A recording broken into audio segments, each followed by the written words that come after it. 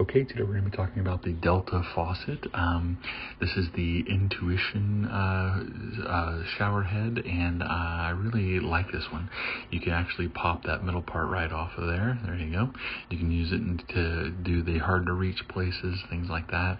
Um, it has some nice little settings on it that you can do to turn it on and off. Um, typically, that little black button will move it down to the faucet below, but really like the water stream on this um, and setting it to a big, broad, relaxing one is great.